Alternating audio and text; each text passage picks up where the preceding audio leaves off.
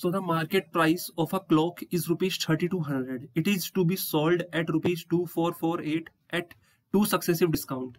तो if the first discount is 10% then the second discount is देखो ऐसे traditional method से हम सॉल्व ना करके एक सिंपल लॉजिकल वे में सॉल्व करेंगे तो मान लेते हैं कि क्लोक का प्राइस कितना है 3200 है ठीक है कितना प्राइस है 3200 अभी प्राइस है तो हमने क्या किया इसको हमने बेचा 2448 में।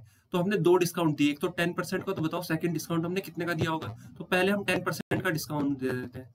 टेन परसेंट का अगर हम डिस्काउंट देते हैं ओके तो अब ये कितना? टू एट एट ज़ीरो आ जाएगा। क्योंकि इसमें से अगर हम क्या करेंगे? थ्री ट्वेंटी सब्ट्रैक्ट कर देंगे। टेन परसेंट का डिस्काउंट दिया तो थ्री ट्वेंटी सब्ट्रैक्ट हो गया। अब यहाँ पे अगेन हम क्या करेंगे? यहाँ पे अगेन हम एक्स परसेंट का डिस्काउंट देंगे और एक्स परसेंट का डिस्काउंट देने के बाद इसकी प्राइस हो जाएगी टू फोर फोर एट अब हमें निकालना है कि कितने परसेंट का हमने डिस्काउंट दिया है। तो ये हम कैसे चेक करेंगे? तो इन दोनों के बीच में डिफरेंस कितना है? तो डिफरेंस है फोर थर्टी टू का। सो फोर थर्टी टू कितना परसेंट है? किसका?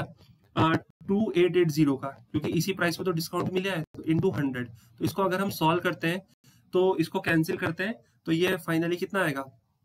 ज़ीरो से ये ज़ीरो कैंसिल हो जाएगी और इसको अगर हम सॉल्व करते हैं तो फाइनली हमारा आंसर आता है फिफ्टीन परसेंट